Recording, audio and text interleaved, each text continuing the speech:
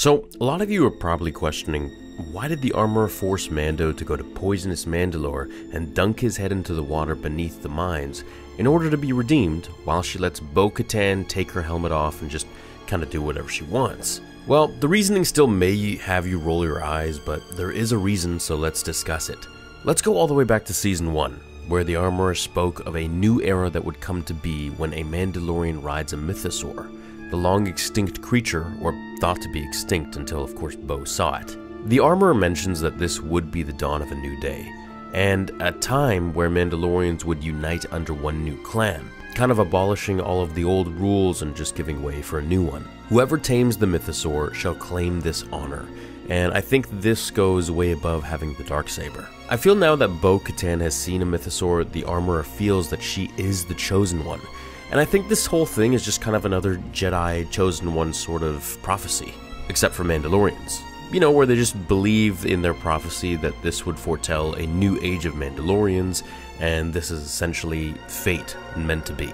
This is also what she mentions to Bo at the end of episode 5, season 3, Bo Katan has walked as a Death Watch member, a Nite Owl member after that.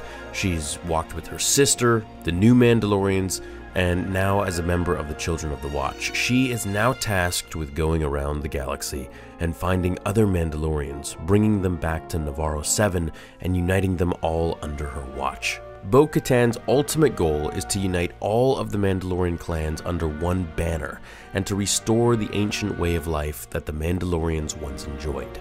She believes that this can only be accomplished through a combination of military might, diplomacy, and strong leadership. In order to unite all of the Mandalorian clans, Bo Katan will likely need to continue to build alliances and gain the support of other influential Mandalorian leaders. She may also need to overcome any internal divisions within the Mando culture and find a way to reconcile different factions, so she's gonna have to be very diplomatic when doing this. Ultimately, Bo's success in uniting all of the Mandalorian clans will depend on her ability to inspire others with her vision and to lead by example. It will also require a willingness to compromise and negotiate with other groups while staying true to the core values and traditions of the Mandalorian people. I think there will be a major power shift, as Bo Katan is the bridge between the different Mandalorian tribes. She told Mando that her tribe of Nite Owls and Mandalorians are making their way through the galaxy as mercenaries, so they all kind of abandoned her. I think she's now going to go out and find those mercenaries and convert them. Now, my question here is what is she going to tell them? That she saw a mythosaur and all of a sudden everyone will be entranced to join her? Or can she say that we're all now welcome back on Navarro 7? It's going to be difficult to convince everyone to join her cause. However, I think the purpose here is to just get as many willing Mandos as she can to increase their collective size and her new way of old and new. Once they do this, they'll all head to Mandalore as the armorer mentions, and then they'll retake it. And from there, I think Bo Katan will try to tame the Mythosaur and ride the Mythosaur on Mandalore. I think it'll be very difficult for many other Mandalorians to accept her now that she's removed her helmet. I think many may even question the armorer's ability to lead after allowing such a thing to happen. This could cause civil war where those loyal will fight for her and the rest will scamper off, making their own new faction, a splinter group, much like Death Watch.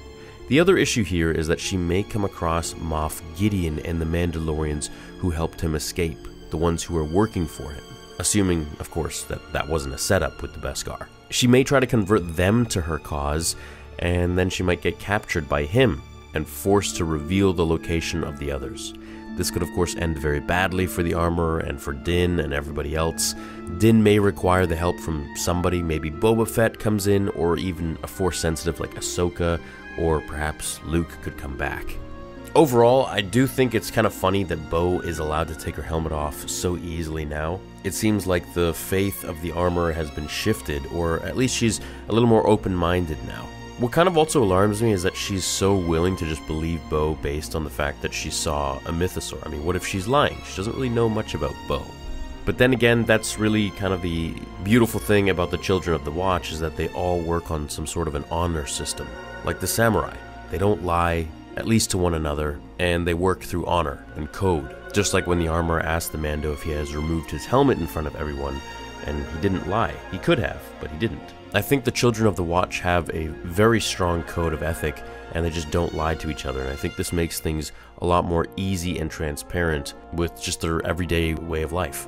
So this is why Bo-Katan was allowed to take her helmet off. I think it's going to be really weird that she's going to be able to take her helmet off in front of everybody, including the Children of the Watch, while they cannot. I think eventually what's going to happen is Bo will lead all of the Mandalorians, or at least a, a massive group of them, and she'll have them all take their helmets off because she just doesn't care for that stuff. And possibly may even start to make things a little more like Death Watch and how they used to be. Now, I could see a lot of the Maul Mandalorians, the ones that were loyal to Maul, having some issues with Bo Katan, if any of those guys do exist still. But beyond that, I don't really think there's too much of an issue that Bo will run into. Except for, you know, maybe some disillusioned Mandalorian leaders of their own clans and tribes, where they just kind of want to do their own thing. Either way, I'm glad that they're now leading into more of an exciting story of The Mandalorian. I was waiting for this, so I'm glad we got it. Hope you guys enjoyed my video on it, and I want to hear your thoughts down below in the comments as well. Thanks for watching, and I'll catch you in the next one.